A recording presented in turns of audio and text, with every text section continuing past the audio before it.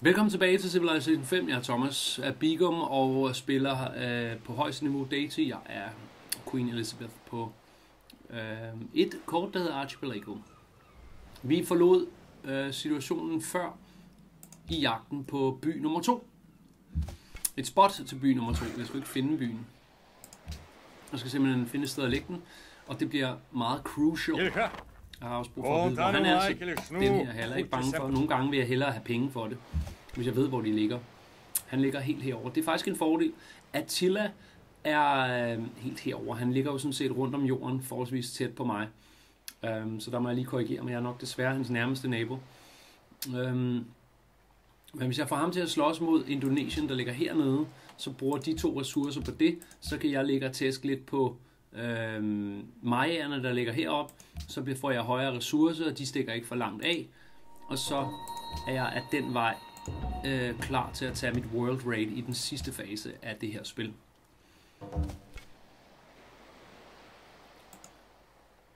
Forholdsvis øhm, simpel fase af spillet den her. Nu går nu går jagten simpelthen på en ø, jeg kan bo på. Jeg er ikke helt vant til at prøve at se ham her ham. Har jeg nogenlunde styr på, hvor det ligger.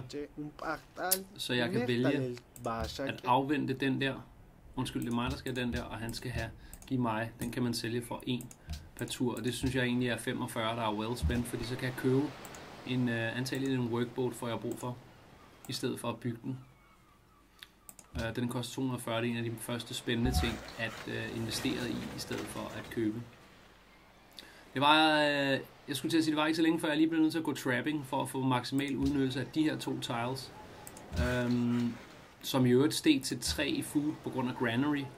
Uh, det vil jeg ikke indskudt, den var en af grunden til, at jeg rigtig gerne vil have mit granary færdig. Det er simpelthen fordi, jeg står herover granary giver et boost i øh, uh, deer, og hvis man så samtidig har den uh, gud, hvor man også får mad på deer, så er man, uh, så er man altså hurtigt stukket af.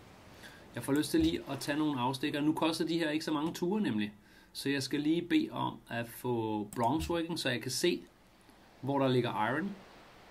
Jeg vil meget gerne lægge iron på den her ø her. Det kunne være episk, hvis jeg fik øh, jern her eller her. Øh, og gerne seks slags, måske ude på øen. Det finder man først ud af, når man har opfundet øh, iron som technology. Undskyld, bronzeworking. Production. Det begynder at være sådan, så Lighthouse giver mening nu, fordi at så får jeg plus en food og plus en production på mine fish tiles. Den vil jeg sætte i værk, mens den her workboat sejler rundt om øen og over på plads. Der skal simpelthen ske det, at jeg finder en øh, solid ø lige heroppe, og den skal have en masse bakker, og den skal have en masse jern. Og selvfølgelig øh, passende mængde luxury for happiness. Happiness er en af de ting, man skal have håndteret ret godt her på datingniveau, fordi du får simpelthen tæsk på happiness. Den øh, dykker, når vi founder by nummer to. Den dykker, når øh, mine byer vokser. Og det er sådan lidt et sidestep, eller, eller backs, backstep hedder det, det er et tilbageskridt, hvis man skal til at investere i øh, kolosseumer, altså bygge dem. Um, fordi vi vil faktisk hellere i krig, end vi vil bygge hygge til vores beboere, og det kan være lidt svært at gå i krig med en unhappy civilization, fordi så får man en, øh, en negativ øh, amplifier, eller hvad fanden det hedder, en, øh, en, en negativ faktor på sin øh, effektivitet. Jeg går i gang med crab nummer to, og så kan jeg så sælge crab, for så har jeg to af dem, og jeg er stadig glæde nok i mit uh, kingdom her til at kunne sælge den uh, ene ressource. Jeg vil allerede tilbudt her. Syv fra Gajamada. Værsgo. Um, der kom iron ind. Åh, oh, jeg har desværre ikke iron på min ø. Jeg skal ud og jagte iron. Skal jeg herover og hente den? Nej. Skal jeg herover og hente den? Nej. Åh, oh, fuck, mand. Den bliver så hård, den her. Um, så har jeg brug for at få trapping, og så skal vi ellers videre mod um, hvad er det, jeg jagter? Kompas. Uh, øh, jeg skal have teknologien. Jeg skal først have det der hvad hedder det? Jeg skal, øh, den der kedelige der, uh, drama and poetry, den fik jeg theology, teologi, og så uh, kompas, og bagefter skal jeg ned og hente de her fra begyndelsen og op til education, og så begynder vi ellers at skulle i krig den her, det her spil bliver, eller den her, det her afsnit, den her episode handler rigtig meget om at jagte et sted at ligge. Kom så. Kom så. Den ligger her. Den ø. Der ligger den ø, jeg skal have. Nu får jeg Lighthouse, og så skal du se nogle æder onde uh, tiles, der kommer ud af det her, fordi de får en production mere og en food mere, og det er simpelthen en uh, necessity at kunne etablere sådan en uh, by, der, uh, der arbejder det der er lidt irriterende. Der er barbar på den her ø til dig, der ikke har set det før. Og der, jeg har bare sådan ikke rigtig brug for at arbejde med barbarer nu. Jeg skal have mig en ordentlig ø. Kom så. Um, det var noget med etableringen af grundbyen, jeg refererede til der. Det er simpelthen vigtigt, at du kan se for dig, hvordan du får en, en uh, max ond hovedstad her på produktion, og det gør jeg om uh, meget få ture. Jeg begynder også at være rig nok til at købe en...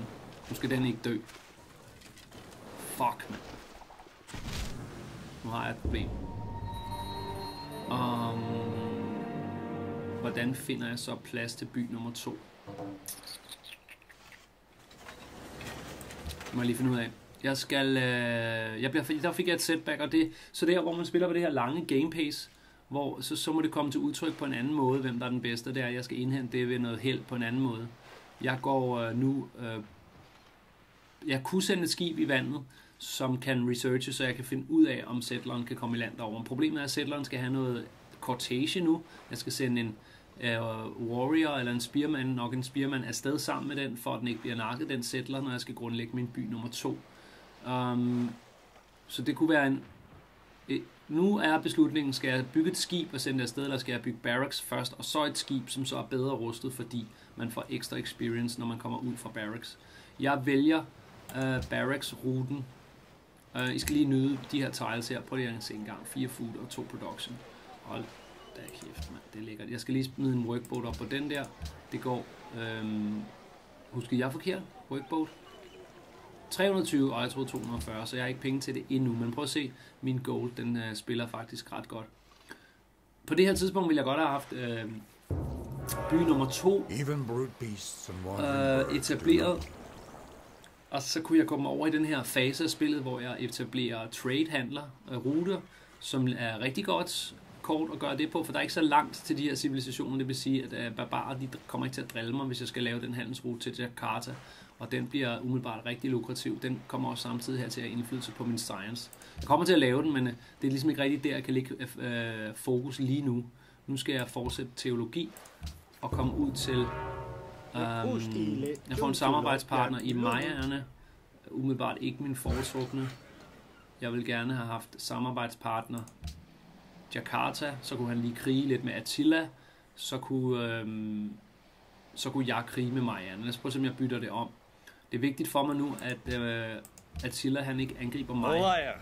Så jeg skal have etableret en form for venskab her ved at handle med nogle ting øhm, fordi så er der mindre risiko for, at han går i krig. Jeg kan i udgangspunktet spørge ham, om han kunne tænke sig at gå i krig. Hvad hvis jeg giver lidt penge for det? Uh, det irriterer mig lidt, fordi nogle gange så er han en af de civilisationer, er world leaders, der, der er hurtigt til at sige, nå, får jeg penge for at gå i krig, så vil jeg gerne.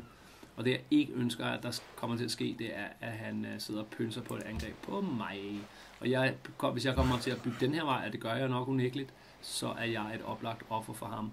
Derfor er det vigtigt, at jeg udskyder den krig mod Attila ved at rette hans fokus mod Indonesien i stedet for.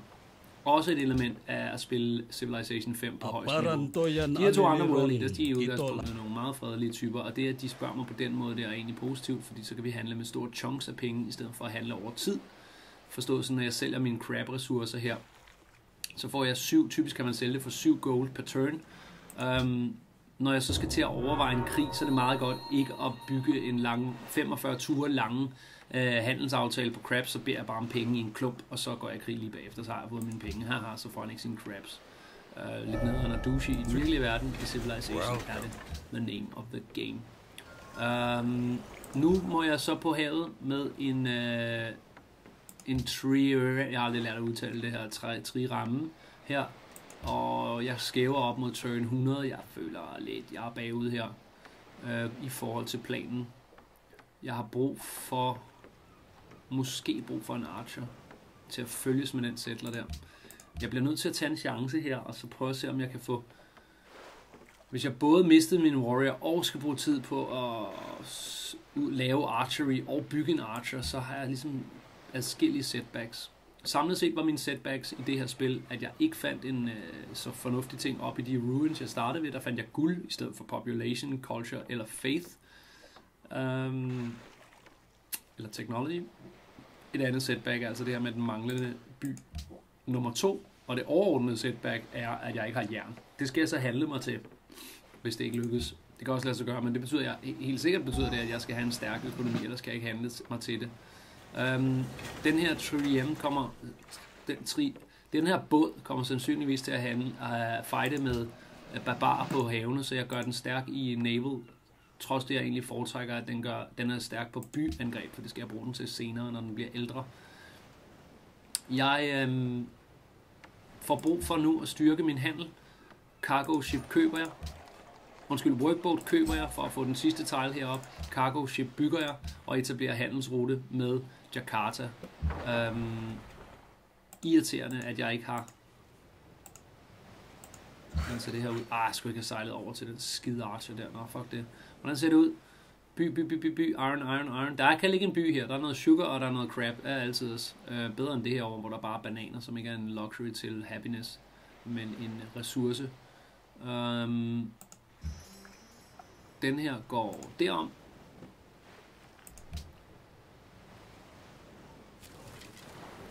Det er lidt irriterende, at jeg rykker derover. Igen et setback, men okay, det blev ikke så dyrt.